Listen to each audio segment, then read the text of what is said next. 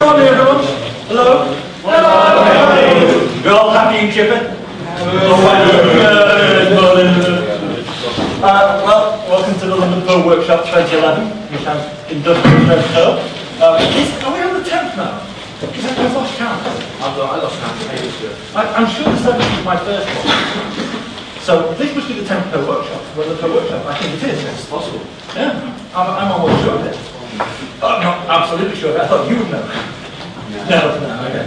Too early in the morning you to know. Well, you can find that. Uh, this is probably our biggest event. If, just going for the sign-ups on, on the website, they all turn up then for free. Because it's not a free with this lecture paper for everyone.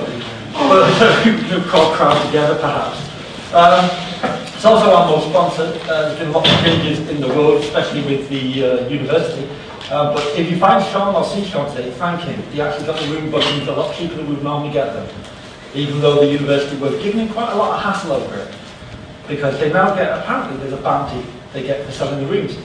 So Sean doesn't get that bounty, they were very upset because he got a discount instead.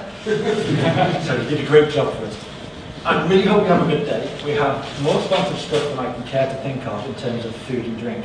Less sponsorship items in the bags, which is adverts. Go and buy these people's materials because they are buying for you today coffee, cakes, lunch, beer, and an evening buffet.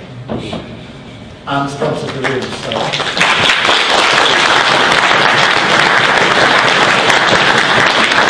I've also got quite a lot of workshops on. I'm really thankful to all the people doing the workshops today. Some of them come a very, very long distance to do it. And some of them do it year after year after year after year after year after year after year without question.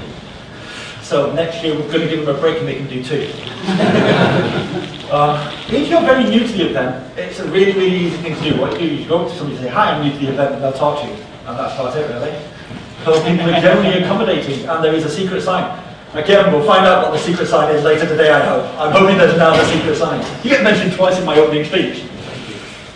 Um, so, UK people, if you don't know them, are very fond of what I like to call a chinwag. They like to chew the fat.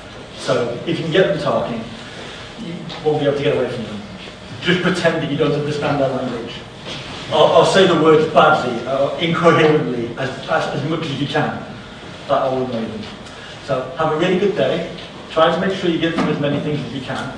There are limited numbers on some of the workshops, and it's going to be pretty much on a first come, first served basis. I think Dave's aligned as many people as will squeeze into the room as there is.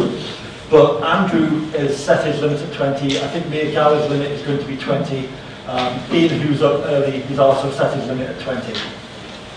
And I believe Gabor, 20 for you as well? Because, I mean, apart from, if you get more than that, it's going to get unmanageable. So, but he, he, if he tells you to leave the room, or they tell you to leave the room, you have to leave. That's it. You have to go to one of the other top, of which there's plenty.